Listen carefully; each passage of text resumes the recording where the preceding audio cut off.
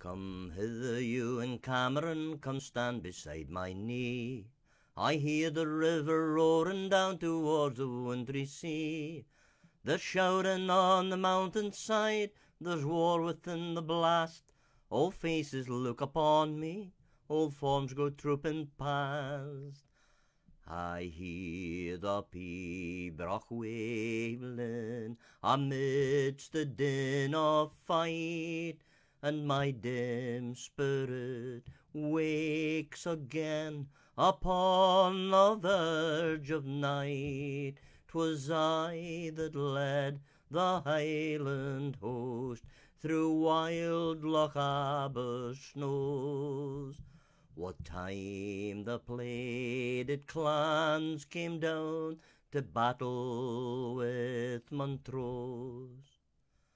I've told thee how the Southerners fell beneath the broad claymore, and how we smote the Campbell clan by Inverlochy shore.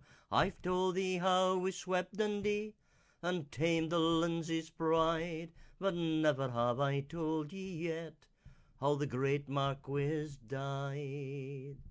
A traitor sold him to his foes, O deed of deathless shame! I charge thee, boy, if thee thou meet with one of Assynt's name, be it upon the mountain side, or yet within the glen.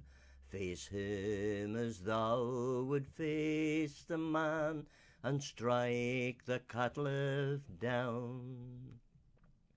They brought him to the Watergate, hard bound with hempen span, as though they held a lion there and not a fenceless man.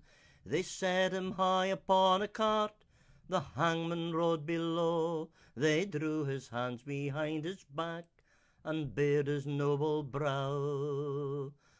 Then, as a hound is slipped from leash, they cheer the common throng, and blew the note with yell and shout, and bade him pass along. It would have made a brave man's heart grow sad and sick that day to watch the keen malignant eyes bend down on that array. There stood the Whig West Country lords in balcony and bow. They sought their gaunt and withered dames, their daughters all a row, and every open window was full as full might be, with black robe covenanting cows, that goodly sport to see. But when he came through pale and wan, he looked so great and high, so noble was his manly front, so calm his steadfast eye. The rabble rout forbore to shout, and each man held his breath. For well they knew the hero's soul was face to face with death. And then a mournful shudder through all the people crept, and some that came to scoff at him now turned aside and wept. But onwards, always onwards, in silence and in gloom, the dreary pageant laboured till it reached the house of doom.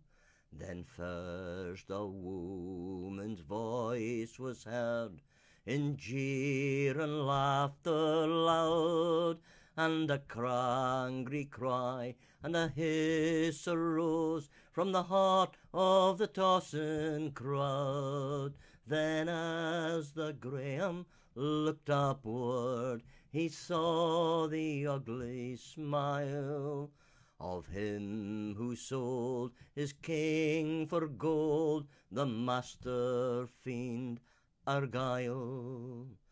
He is coming, he is coming like a bridegroom from his room. Came the hero from his prison to the scaffold and the doom. There was glory on his forehead, there was lustre in his eye, and he never walked to battle more proudly than to die.